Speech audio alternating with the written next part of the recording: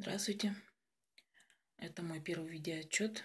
Сегодня я хочу рассказать вам о своем сыне Исламе, которому сейчас четыре с половиной года. Он родился, когда он родился, в роддоме ему поставили диагноз врожденный порог сердца. ВПС. Открытое овальное окно. Ну, нам, мы пропили то, что нам назначили, и через год сделали повторное УЗИ, где нам сказали, что все нормально, дырочки затянулись. Ну, в общем, переживать не о чем. Ну, спустя это ему где-то был годик, я начала замечать, что он, ну, как, не как обычные детки, не реагирует. Говорить особо так не пытается, ходить тоже не старался. Ну, мы были у невропатолога,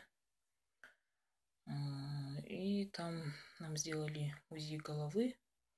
Там у него жидкости было больше нормы. Ну и нам поставили диагноз э, задержка психоречевого развития с аутистическими чертами. Ну, это был для нас, конечно, шок. Ну, у меня пятеро детей сейчас, и сам у меня четвертый. Перед ним трое детей. Совсем такого не было с ними проблем даже не знала. Ну, ислам, не знаю, почему так с ним случилось, может, так суждено. Но после этого мы куда только не ходили, по бабушкам ходили, по больницам, в реабилитационном центре лежали. Ну, были сдвиги, но не особо. Можно сказать так, впустую просто ходили. И После как-то я начала искать в интернете ответы. Может, где, думаю, есть все-таки. Кто вылечил своего ребенка. И как-то увидела отзывы родителей, отчеты, как они рассказывали о своих деток, как у них они пошли на поправку после сеансов Давида.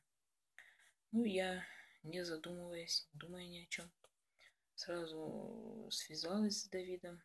Ну, он сразу согласился лечить нашего сына. И, ну, сразу скажу так, изменения как бы после первого сеанса у него улучшился сон. В первую очередь у него он, как бы сказать вам, мог не спать до двух, до трех, бегать, играть сам по себе смеяться впустую. И